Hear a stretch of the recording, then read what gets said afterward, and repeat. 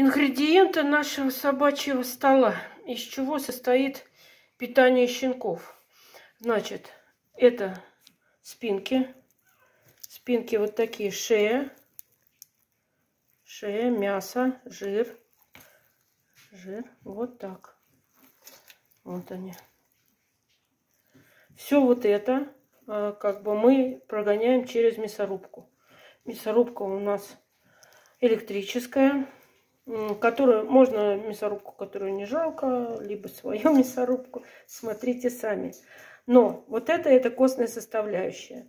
Может быть э, спинка с хвостиком, с гуской, могут быть просто одни шеи. Э, вот. Это костная составляющая. Теперь, из чего состоит вот эта вот кашка-малашка? Это рубец у нас. Рубец уже у меня провернутый. Это э, рубец, коровий желудок, требуха, называют ее по-разному, не очищенная. Она промороженная, там трое-пять суток э, в морозилке.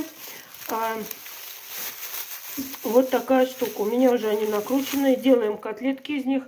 Достаем, размораживаем, все смешиваем.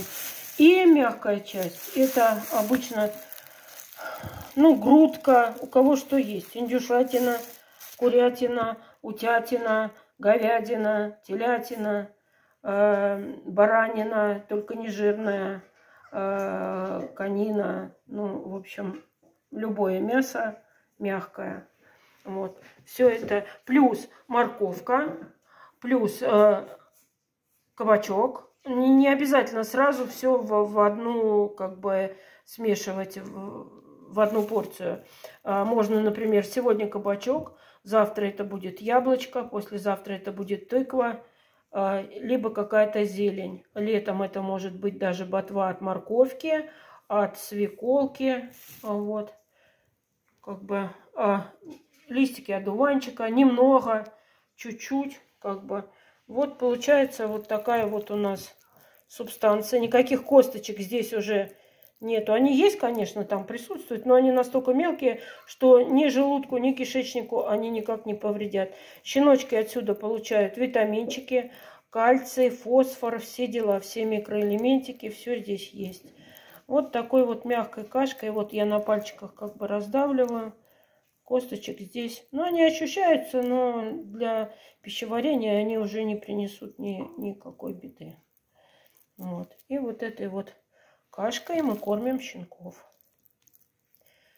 Крупа щенкам практически не нужна. Если вы хотите, конечно, вы можете добавить ложечку риса. Там вот на такой кусок, например, пол ложечки риса, да, вот на такую котлетку. Но, по сути дела, это просто наполня... на... наполняющее. Вот, что мы делаем дальше? Дальше мы крутим котлетки. Если у вас одна собачка, там, например, они должны быть вот с ложку, со столовую, да. Если у вас там 2-3 собачки побольше, делаем вот такие котлетки, фасуем их в пакетики, вот так, и убираем в морозилку. Заранее достаем, размораживаем, вот, а, подогреваем щенку либо на водяной бане, либо просто стоит э, при комнатной температуре. Попробуйте ручкой, если как бы еда Нормальная температурка, не ледяная, не горячая. И кормим щеночка. Вот так у нас готовится еда для той в чихуа, грифончики. У нас едят вот такую пищу.